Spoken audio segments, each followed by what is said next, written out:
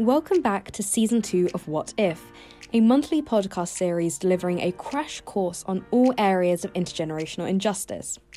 Now, over season one, with the help of some policy experts and young changemakers on the ground, we delved into a range of topics from the rising student debt crisis to touching accounts of mental health. And now we're back. Over the next five months, I'll be taking you on a continued whistle stop tour, touching on everything that we haven't so far. But you'll have to stay tuned to see what we've got in store. We're very grateful to Curtis Banks, a self invested pension specialist, for sponsoring the research undertaken in this episode. And later, I'll be speaking to them about why intergenerational fairness is so important to their organisation. What if? What if? What if? What If? A monthly podcast series in partnership with IF, the Intergenerational Foundation. We're kicking off this season with a special episode. It's special in that it's IF's 10 year anniversary. So much has happened in the last 10 years. Let's have a look. We kicked off the decade with a new coalition government between the Conservative David Cameron and Liberal Democrat Nick Clegg. This is a new government, and it's a new kind of government. A radical, reforming government where it needs to be, and a source of reassurance and stability. The duo took the decision to cut public spending in order to get Britain's finances in order, an economic crisis which they blamed Labour for. The reality wasn't quite the united front. So do you now regret when once asked what your favourite joke was, you replied Nick Clegg? I, we're all going to have. I, I'm afraid I did once. I'm, I'm, uh... Then came the introduction of the triple lock pension, years of austerity, and the decision to triple university fees. Thousands of students have clashed with police at Westminster today during a mass demonstration against plans to increase university tuition fees in England. famously, infamously, couldn't uh, put into practice uh, my party's policy on tuition fees for reasons which I hope you're familiar with. They were introduced by Labour and actually jacked up by Labour, and uh, there was no money left. Uh, but, you know, it was a broken promise. You betrayed the young Oh, people can I of just, our can country. I reply? Can I reply? Very? I mean, you know, I, I get this sort of pious uh, stance from Ed Miliband. This is- Pulling the plug on public funding and dumping the cost onto students. Isn't that why he's betraying his promise on tuition fees? And then we had a political decision that truly severed the generational divide. The British people have voted to leave the European Union, and their will must be respected. Their will, or just the will of the elder generation. Many years of failed Brexit talks, a sorrowful resignation, I do so with no ill will, but with enormous and enduring gratitude to have had the opportunity to serve the country I love. and record rates of youth unemployment. Surely things couldn't get more turbulent for Britain's young. Good evening. The coronavirus is the biggest threat this country has faced for decades, and this country is not alone. oh, wait, they could. The last 10 years of IF's existence have been eventful, to say the least. And it wouldn't be an anniversary episode without talking to the people who started the journey.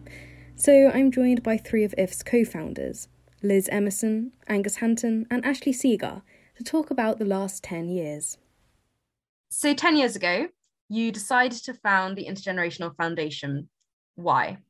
10 years ago, a group of economists, including Angus and Ashley, academics, business people, some politicians, were increasingly concerned about the prospects of their children and grandchildren. And the term intergenerational fairness wasn't really in the public domain. And so the Intergenerational Foundation was established. It was set up as a research and education think tank with a mission to ensure that all future policy is assessed through its impact on younger and future generations. I think it's also true that we were we were annoyed at the way that the government was treating younger people, and we just felt they were it was a form of discrimination. Really, they were favouring older people at the expense of young people. And the way Ashley put it was very good at that time and very true. He said that every time you turned over a rock, you found another monster. And as we looked at the issues, we found that there were more and more areas where young people's interests had been ignored or overridden. And what was really interesting was that no other think tank or organisation was was researching explicitly the concept of intergenerational fairness. So so we think that we deserve a, a pat on the back, actually. And at least what you won't know is that back in 2011, when we when we first launched, our um, very first research report um, found that there were 25 million underoccupied bedrooms. Um, that was a new stat in the housing world. And before we knew where we were, we were across all of the mainstream media and the national newspapers um, to such an extent that we had a David Dimbleby um, actually trying to pronounce the words intergenerational as part of as part of question time, um, and his and his question was, and, and what is this new think tank called the Intergenerational Foundation? When we did our first launch, and Ashley and I were at BBC Studios in White City, um, one of the things that the interviewer said to me in between interviews is he said, "It's amazing, you guys have turned the phone lines blue." And what he meant was older people were phoning in with full of expletives and swearing at us because we dared to raise the question of fairness between generations and suggest, even to suggest that the older generation might have taken more than their share. But, you know, since 2011, we've actually published over 70 research reports. I was just counting them in the office today each year we've had around 60 national media um, uh, editorials or tv or radio and um, we've really we've really pushed everybody from politicians to the academia to the think tankers to really think about what the impact of their decisions are on younger and future generations. And we've had quite a few successes actually. Um, one of the biggest successes we had was on buy to let taxation. Yes, we pointed out, we called it the big tax let off buy to let because the income from it for landlords was was terribly undertaxed and and uh, as a result of that of our report the treasury did actually change it um, did change the ta- increase the taxation on buy to let income we've set up conversations around the kitchen table whereby older generations are increasingly sympathetic to the plight of their children and grandchildren. I think from my perspective, it's more the fact that you've put the topic of intergenerational unfairness or injustice onto the agenda, because without a term, without a phrase, it's very difficult to raise awareness for something if you're not aware that it's even there. So now we've reached your 10 year anniversary. And what have you done to commemorate this? When we set up the organisation, we hoped that we wouldn't be needed 10 years later. We hoped that the problems would be solved and there'd be fairness between generations. In fact, the study that we've done for our 10th anniversary report shows that in the policy areas we've looked at, younger generations have, be, have lost out in nine out of the 10 areas. So actually, it turns out we're more needed now than ever before. And of course, in, in the last 18 months, everything's just got much worse because of the pay now, worry later attitude of politicians towards COVID 19, which has seen a massive run up in the national debt and a massive hit to economic output, predominantly to young people.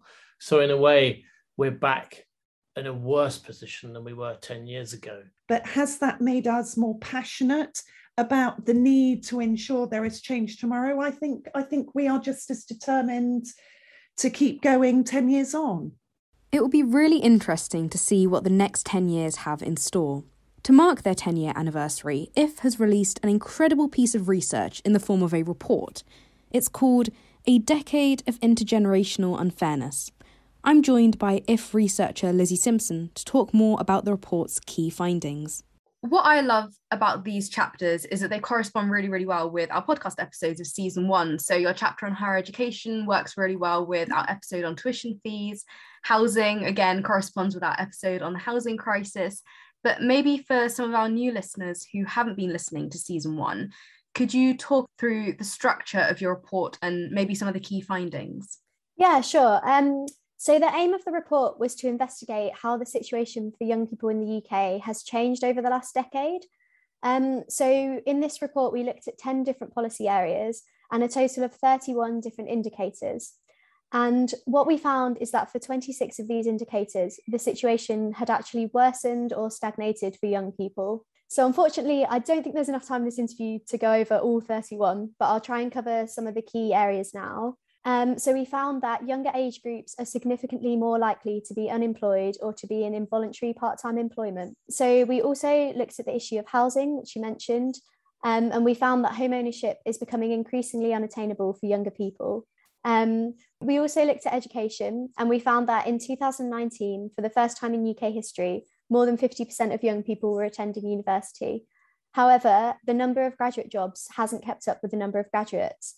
So in 2019, around 45% of recent graduates and 35% of non recent graduates were working in non graduate roles. Um, Those stats are actually quite depressing because because your report basically found out that out of the 10 policy areas that you investigated, over the last decade, young people have sort of fallen behind on nine out of those 10, with environment being the only area where there has been a little bit of progress that's been made. Yeah, no, it is quite depressing. And I think, um, yeah, the environment was the only area that showed signs of progress because obviously um, in recent years, there has been a lot more policy attention given to the environment and climate change, and we are starting to do things about it, and it is moving in the right direction. Whether it's moving fast enough is, is a different story. But I think, yeah, it is very depressing because obviously throughout history, we always want the next generation to be doing better than the one that came before us. So we always want to increase prosperity, increase standard of living. And what this report really shows is that, you know, for the first time in history, in, in a long time, progress is going in the opposite direction. And young people are actually, in many areas, having a worse standard of life than their parents and grandparents did. I think one area that I found quite interesting within your report was public services and we haven't really touched upon it within our podcast episodes at all. But i find it interesting because essentially it's how much the government wants to spend on us and the distribution of that resources or those resources across the population. I think you can tell quite a lot about the mindset of the party in power by looking at this distribution. So what are your key findings here yeah, no, definitely, I agree. Um, so the main finding here is that the government's been consistently spending more on each pensioner than it has on each child, and that this gap has been increasing over the past decade. Um, so we looked at a, a, a few different uh, types of public services. So for education, as expected, this is higher for children as they're the age group who are in school. But we've still seen that over the last 10 years, education spending on children has stagnated and started to decline. We also found that spending on free travel for pensioners per person has increased by almost 12 times between 1999 and 2018.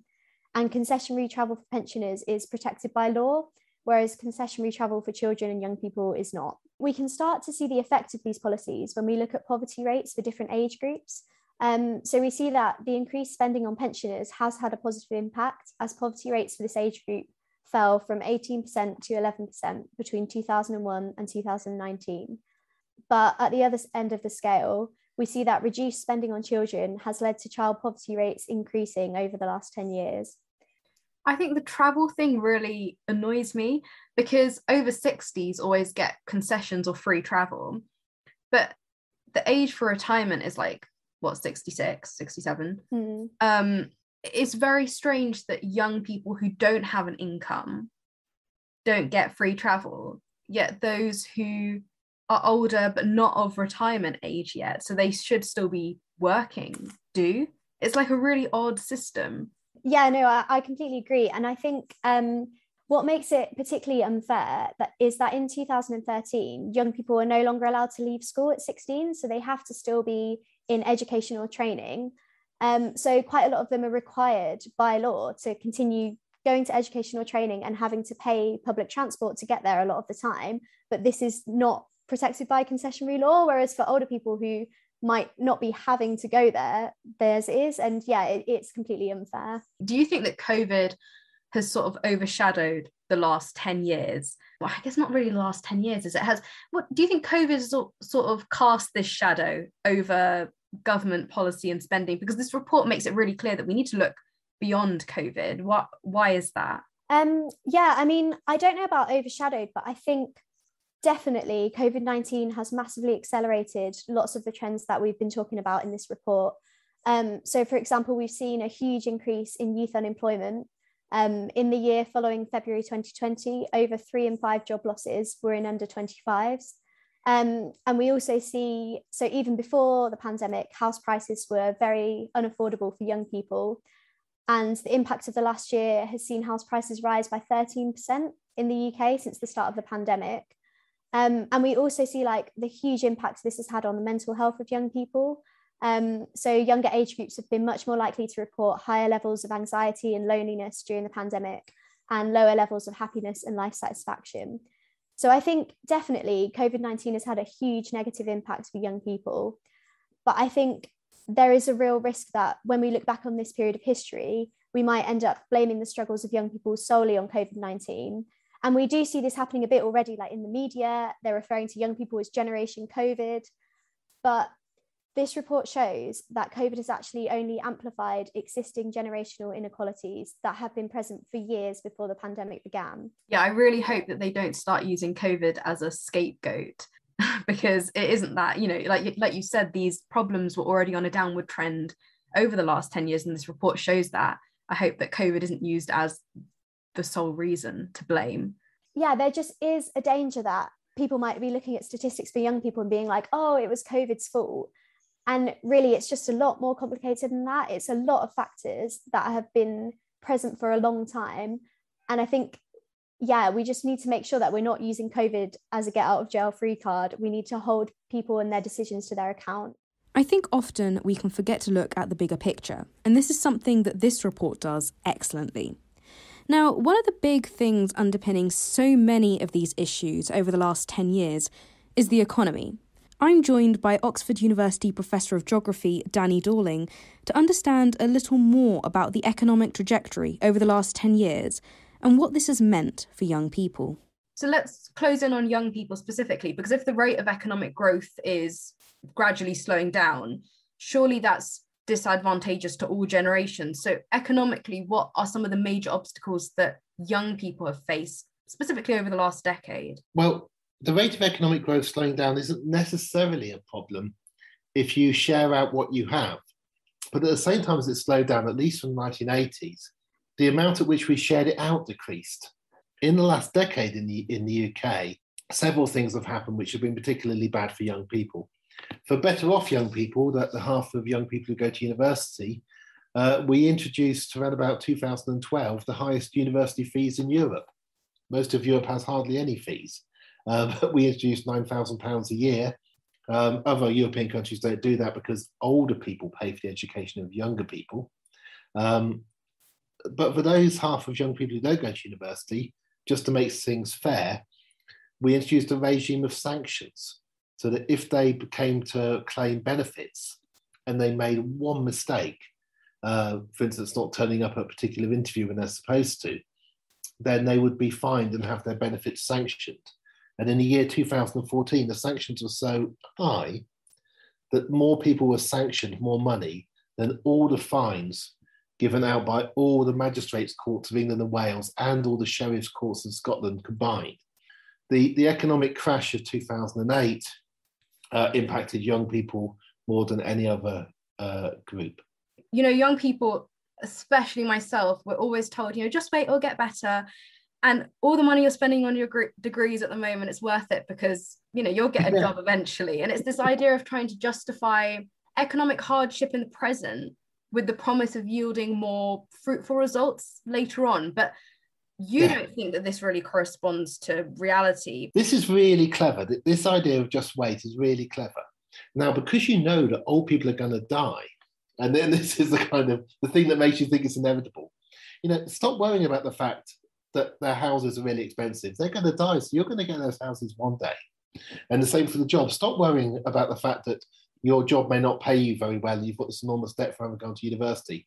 Those old people will retire and they'll die. So one day it comes to you.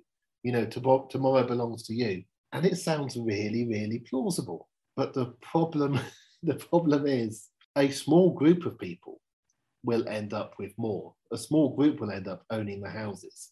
Um, in fact, we can already see that small group because they've been growing and growing. It's called buy to let landlord. So a small number of young people will be really well off old people in future. but not most of the young generation. You say that policy focused on future growth can't be trusted. Yes. Why? Uh, well, that's that that is well, it's never worked in the past, even when we had higher rates of growth. But increasingly, what, what growth we have, which is less and less, is now taken by a smaller and smaller proportion. So then, what do you propose as a solution? What what should be driving policy if it's not future growth? You simply get rid of university fees. It's possible to do it, and then you have to work out the way to recompense the people who shouldn't have had to pay them. Um, if you say, well, where does the money come from? We can't afford it. Well, we did suddenly find 400 billion for COVID. You know, it's, it's, it's it was always there. Germany manages to do it somehow. Um, France manages to do it, not just Scandinavia, the Netherlands. I can go all the way around Europe. You know, in fact, more countries manage to do it than the ones that don't. I was reading the manifesto of um, Dominic Cummings yesterday, which he wrote in 2013. And there's a line in it when he wrote, You can identify the age of 13, he said, uh, whether somebody, a child, is in the top one in 10,000 of ability and then nurture them. So Dominic Cummings, who became the chief advisor to Boris Johnson, has a belief that only a few people are very smart, including him, of course. And if you if you believe this of human beings, if you think that just a few are super able like you, then you've got a tricky position because you can't say to people, look, you're all thick, just let me be in charge, because they don't like that. So you have to promise them something else. And that's what's been happening. So you're essentially saying that instead of jamming tomorrow, we should be sharing today. We should be sharing today, and, and this is not a radical kind of revolutionary sharing. This is a sharing like the Germans share kind of thing.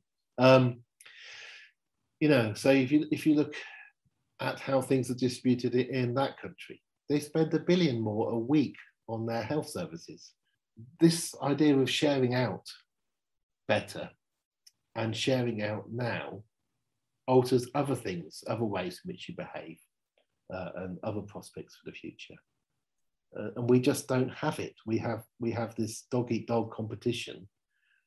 Get into lots of debt, get your degree, fight for a job, and if you don't manage to pay your way out of it, well, that's your own fault for not having tried hard enough. And if you can't get a house and a mortgage, well, you obviously just married or got together with the wrong person, didn't you? And it's a different, yeah, very, very different way of behaving. No, that's very, very true. And and you mentioned how we got, you know, 400 billion pounds to spend on COVID. And does it seem fair to young people that the government is considering raising income tax and or national insurance as a means of covering this? And what would you propose as the better solution then? I would look again at wealth taxation. Um, and it's looked at across Europe and it's tricky to do. Um, but it's what we've done before when there have been crises, normally in wartime. So for, for a one-off emergency like COVID, uh, that's the way to, to deal with it. You don't you, you increase taxation on better off people, partly to stop them hoarding all the resources that otherwise need to be shared. So Danny has suggested one solution, but what do our co-founders think? If I had to give you one policy, it would be that all policy has to be assessed for its impact on younger and future generations. And if it's found to be negative on young generations, it should be thrown out as a policy. I would probably add to that uh, taxation of wealth, because that's the really big uh, inequality. Is the the old sit on so much of it untaxed, and the young sit on so little of it. And if they do work to try and make up for it, they get hit by these heavy marginal tax rates that Liz mentioned earlier. So I think the ta- taxation system is is flawed, fundamentally flawed, and without a fix, we'll never make any progress uh, on intergenerational fairness. I think the change in approach needs to be that politicians take off their rose tinted spectacles, and whilst they still have available their glasses which show them about class difference, they put on a new pair of glasses which show them where they look at through the lens of intergenerational fairness and see society from that perspective. IF's anniversary report is important, and it's vital that policymakers have a thorough understanding of the issues that were affecting young people before the pandemic. As mentioned at the start, we are very fortunate to be sponsored by Curtis Banks, a self invested pension specialist, for this episode. I had the pleasure of speaking to Philippa Heel, a senior marketing executive, to understand why intergenerational fairness is so important to their organisation, specifically through the policy lens of pensions. At Curtis Banks, we understand that protecting the interests of younger and future generations is vitally important when planning for the future. As your 10 year report shows, in just six years, the median individual wealth gap between the oldest and youngest age groups has increased by 43%. So it really highlights the importance and need for wealth to be passed on fairly from one generation to another to try and help bridge that gap. Our question is why can't changes be made to pension policy to help benefit those younger generations? Policymakers need to think about the future of the younger population and make the transfer of wealth from one generation to another within pensions more accessible without individuals being penalised through things like heavy taxation why can't older generations be able to help younger generations through pensions at a time when they're most likely to need it, such as to help with student debt or towards a deposit on a first home? Things that a lot of younger people can struggle with and often require significant help towards. So, you've mentioned how important it is that we do have intergenerational equality, but what do you think is the solution or a solution to getting there? I think one solution, firstly, needs to be visibility, transparency, which is exactly what the Intergenerational Foundation is doing and why we are supporting um, the foundation. People need to think more, you know, as I mentioned before about policymakers, people need to think about those younger generations, the future generations to come, our children. You know, what is it going to be like when they grow up? How is that going to impact our children and their children and their children? And how can we make it easier for the wealth pots that, uh, for those older generations to be transferred more easily? We need to be shouting about it louder. We need to be making more noise in order for those younger and future generations to be represented in the right way. For all of those reasons that Curtis Banks are passionate and committed to helping the Intergenerational Foundation continue to raise awareness on the inequalities between generations and help fight for a fairer future. Fighting for equality amongst current and future generations is something that we should all strive towards and is central to the work of IF. If any of the topics and discussion in this month's podcast have caught your attention, then head over to www.if.org.uk, where IF have conducted incredible research into the topic, or follow the Intergenerational Foundation on Twitter, Facebook, and even Instagram. There, you'll be able to find links to our 10 year anniversary report. See you next month, when we'll be delving into the turbulent topic of climate change and COP26. What if? What if? What if? What if? A monthly podcast series in partnership with IF, the Intergenerational Foundation.